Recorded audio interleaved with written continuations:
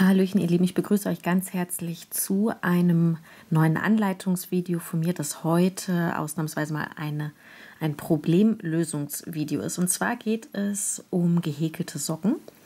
Und ich habe schon von einigen von euch Nachrichten bekommen, ähm, ja, Romy, wir haben hier so ein paar Probleme, wenn wir die Ferse fertig gehäkelt haben und dann in Runden weiter häkeln wollen nach oben, dann entstehen links und rechts neben der Ferse so kleine Löcher.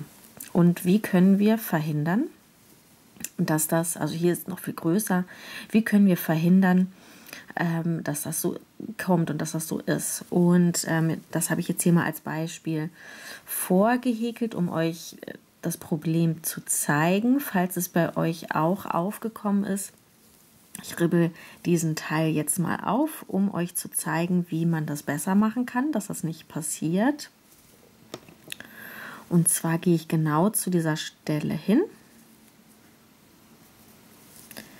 ribbel das Stäbchen vor, vor dieser Stelle auch nochmal auf das letzte, die letzte Masche hier an der Ferse.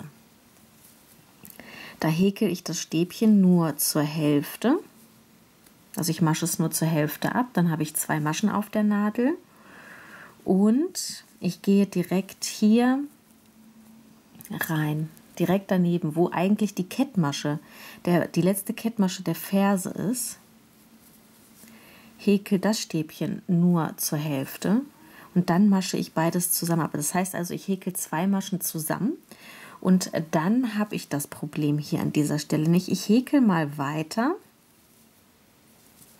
bis ich auf der anderen Seite der Ferse ankomme und zeige euch das dort dann nochmal und wie es dann im Ganzen aussieht. Seht ihr, also hier ist es schon wesentlich dichter und zugehäkelter, als es eben noch ausgesehen hat. Und ich bin jetzt hier bei der letzten Masche vor der Ferse angekommen. Hege auch hier das Stäbchen nur zur Hälfte, habe dann wieder zwei Maschen auf der Nadel und gehe dann in die Kettmasche, kann es am besten zeigen, wo ursprünglich die Kettmasche reingehäkelt wurde von der vergangenen Runde von der Ferse und häkel dann beide Stäbchen zusammen. Das heißt, ich habe ja keine Zunahme gemacht, kein zusätzliches Stäbchen gehäkelt und dadurch, dass ich beide zusammen abgemascht habe, ist es wie eine Maschenabnahme. Und auf diese Art und Weise habe ich hier diese Lücke gefüllt, die eben noch da war und das Ganze geschlossen. Und deshalb ist hier kein Loch weiter entstanden auf beiden Seiten. Es ist zu. Und äh, ich kann ganz normal weiter häkeln und habe keine, keine Löcher in der Socke so wie das eben noch war.